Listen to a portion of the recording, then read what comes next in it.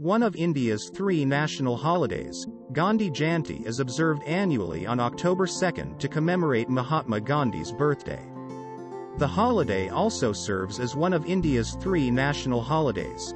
We pay our respects to the champion of nonviolence who, by the use of nonviolent tactics, altered the course of history.